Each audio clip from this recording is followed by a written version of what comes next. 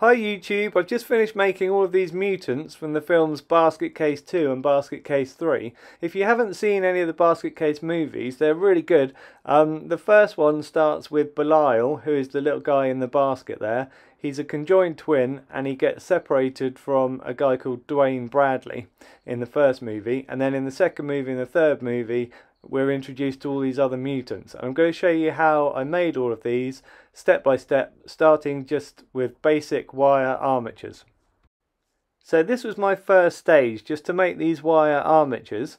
Uh, it's fairly thick aluminium wire, just twisted around itself, just to make the rough overall shape of each figure.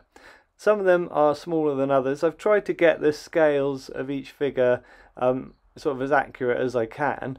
Um, it doesn't matter if they're slightly different. And with this project, because I'm making so many of them at the same time, um, I'm not going for kind of perfection. You know, you could sort of spend like a year making one figure and make it absolutely immaculate and perfect. But with these guys, like I say, because I'm making so many, I just want kind of like a, a rough representation of each figure. So you can see here, some of them have got kind of interesting shaped heads and things, and I've made wire um, that shows that. You can see my fingers there are all sort of grey because when you work with this aluminium wire, the aluminium sort of rubs off on your fingers, so you do get very grey fingers while you're doing it. So once all the wire armatures are made, the next step is to bulk out the rough shapes of each figure just using some tin foil. What's really nice about this is obviously the tin foil, you can squash it and crumple it up and you can really kind of mold with it quite quickly.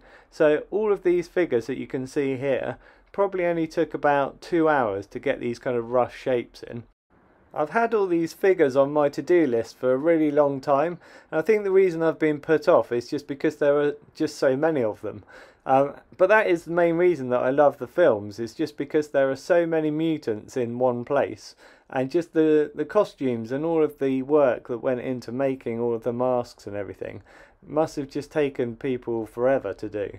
Um, and I can really appreciate that when I'm watching the movie. And I don't care that, you know, some of the um, other elements of the movie are not great. It's that that really um, draws me to the movie.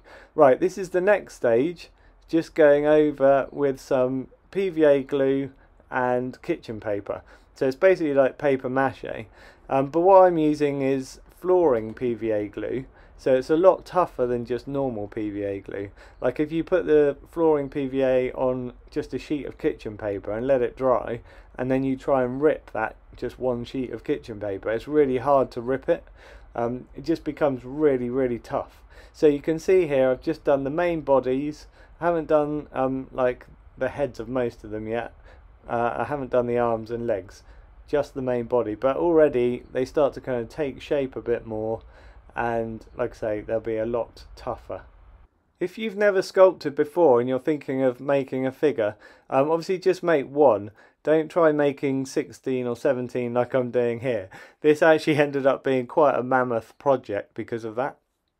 For all of the detailed parts of these sculpts, I'm going to be using Milliput. If you haven't used Milliput before, it's a two-part putty. You mix the two parts together and then it starts to set, and it sets rock hard in about four hours. Right, at this stage you can see that I've done all of the heads using the Milliput. This obviously takes quite a long time to do because there's quite a lot of detail really in each head. Um, but you can see it's worth it. And what's really nice about the Milliput is that once it is dried, it is really rock hard. So if any of these kind of fall over or anything, nothing's likely to kind of snap off. Um, this is what I like about Milliput compared to say oven baked clay and that kind of thing. A lot of the polymer clays that bake in the oven are quite fragile after you've baked them, but the Milliput is nice and strong. Uh, it's the main reason that I prefer to use this over the oven baked clay. Right, you can see um, how all of these are looking. I haven't done anything to the uh, hands yet, I haven't made any hands or feet, just been concentrating on getting the heads done. So at this point I'm much more pleased with how everything's going and I'm really looking forward to getting them all done so that I can um, get on and paint them. The painting bit is kind of my favourite stage because uh, it's just you know when you know that all of the hard work really is done the painting's a lot easier to do Um, and obviously, it's the thing that kind of brings them all to life at the end as well. But it's really nice at this stage just to see them all starting to look like the actual figures from the movies. I use a whole range of small tools to shape the milliput. Um, things like ball styluses, needles, dental tools, um, cocktail sticks, basically anything that I've collected over the years that I can use to make interesting kind of shapes and things in the milliput.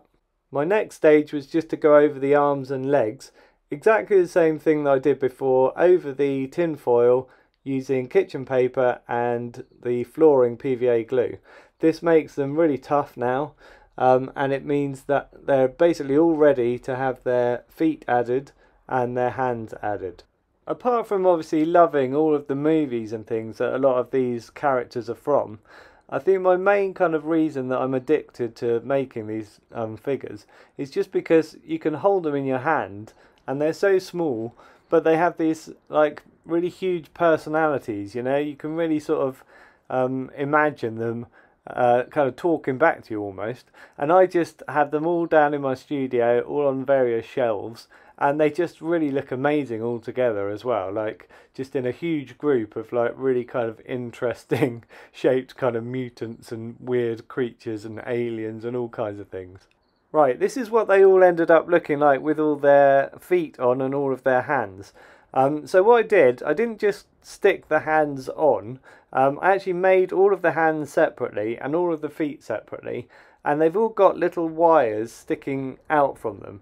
Um, and that just allows you to then make a hole in the arms and the legs and then just feed the wire up into the hole and I obviously put a bit of um, the PVA glue on there at the same time and that just makes them really really solid.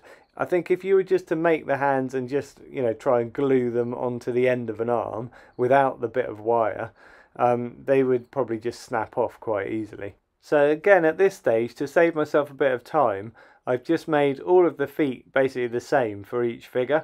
Um, same with the hands. So it's like a sort of little mini production line making all of the feet and all the hands. Um, it just means like that all of the time that I wanted to spend on them was spent really doing the heads. I wanted them to be the best bit. There are other details I'm going to add to these as well, but I didn't want to waste a lot of time trying to get um, shoes and hands exactly as they should be. I've got so many movie creatures on my to-do list that any time I can save is a bonus. Right, this is the next stage, all of the details for each figure. Um, so I've got quite a lot of reference photos that I was working from. Um, some of them were actually stills that I took um, from the movie itself. But you can see I've just tried to kind of match the um, clothes as best I could. Um, you can see here I've left a lot of the white um, showing from the kitchen paper and PVA and actually that's quite nice because it gives a sort of a wrinkly texture and it really can look like clothing.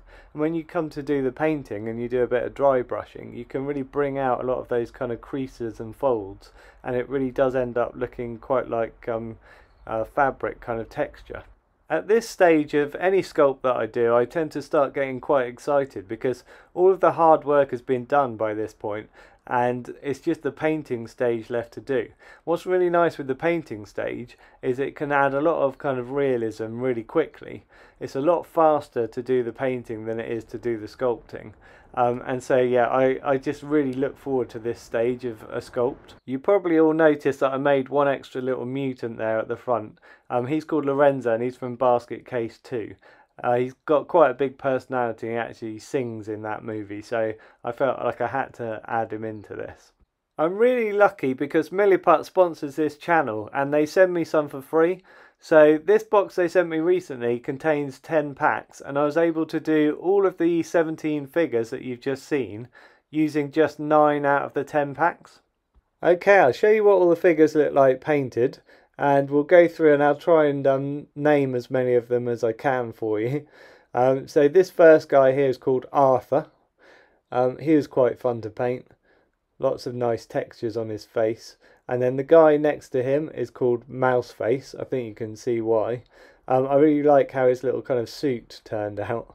It looks quite funky. Okay, and then the next guy is called Charles with his little blue face and interesting kind of teeth And then this guy is called Leon, the bumpy guy. Good name, I think. Uh, and then this one I'm not sure of, the really tall one with the long neck. I couldn't find a name for her. Um, and then the next guy is called Sydney. Um, he's also called Toofy. I think you can see why. Really kind of interesting um, figure, that one. Uh, then we've got Simon at the back there. Um, and then we've got uh, Wendy, who's also called Brainiac. I think you can see why. That was really good fun sculpting the kind of brain shaped head. Um, then we've got Fernando, who's also called Half Moon because of his half moon shaped face. Um, and then we've got Elise. Um, she's got a really kind of interesting top to her head. Then we've got Cedric. He's got all kinds of sort of weird tusks and things. I don't know what that is on the top of his head, but it's quite interesting. Um, this guy, I don't know the name of, but it's got one of the most kind of unique looking heads of any of the mutants. Um, then we've got Elmo, who's got a lot of noses on his face. I think he's got something like 27 noses. I don't think I sculpted that many. Then we've got Magna, who's also called Miss Mackerel. Um, she's got this really wide shaped mouth. I need to add a few little barbs to her face, but I think I'm going to make those out of little bits of feathers. Then we've got Frederick in the back there. I just did him in his pyjamas. I didn't bother doing a dressing gown just to save myself a bit of time. Then you've got little Hal, who's a guy with loads of arms. Um, then we've got Lorenzo. This one I really love how he turned out, and when you put him in your hand, he just sits on your hand and he looks really cool. He's actually turned out to be probably my favourite one. Um, and then obviously we've got um, Belial there. I made a separate video on him because I made him a long time ago, so you can check that one out if you get a chance. Um, there are some other figures that I'd like to make from the movies, but a lot of them are just normal um, people like Duane Bradley, um, Granny Ruth. Um, there is a thing called Bernard, which is like a sort of a tummy burster thing. Um, so I might make that at some point. And then also there's a character called Eve, who is Belial's girlfriend, but I want to make her separately because she has lots of little babies in um, basket case 3 she's surrounded by little tiny baby Belials so I quite like the idea of making her and making loads of little Belials to go around her but that will have to be a video for another time. Thanks so much for watching this video. Um, check out my other videos of other weird movie creatures that I've made and hit subscribe to see anything that I post in the future. Thanks for watching and I'll catch you in the next video.